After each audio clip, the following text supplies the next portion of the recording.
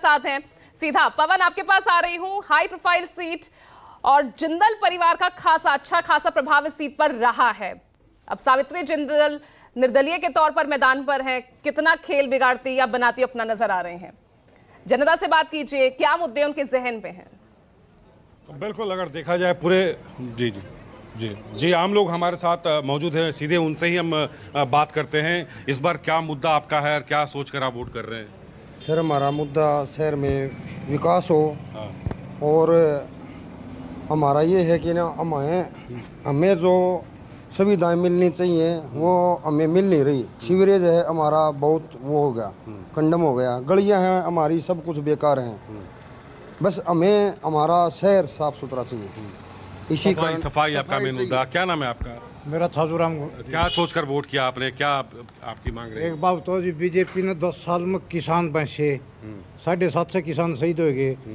EVS sarpanch पीटे कोई रोज़गार नहीं है। शहर में शहर में सारी सीवरेज रुके पड़े हैं।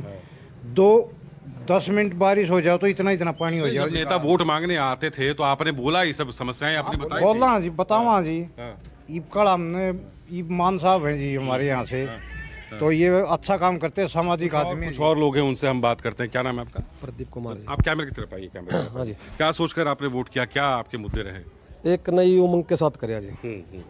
कि हमारे एरिया में अब की बार नया चेहरा आया अनिल मान जी। अच्छा ये ये बताइए सीवर की समस्याएँ बता जा रही है। जी बारिश होना बुरा हाल हो जाए जी बहुत बुरा हाल है। बारिश वगैरह हो जाए ना बहुत गंदा काम हो जाए बदबू मारा मच्छर वगैरह बहुत परेशान है जी।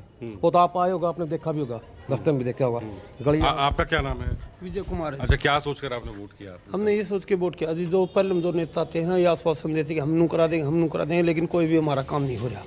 है इसलिए हमने ये नया चेहरा देखा कि अच्छा ये अब जो मुद्दा आप जो बता रहे हैं पाँच साल पहले भी तो यही मुद्दा होगा नया मुद्दा ये भी होगा। पिछले बार जो वोट किया इस बार क्या सोचकर वोट किया? इनका ये सोच के वोट किया जो हमारी फ़सल है हम जमींदार आदमी हैं। हमारी फ़सल बेचने जाते हैं हमारा वो दुर्गति होती है जो कोई भी नहीं सोच सकता।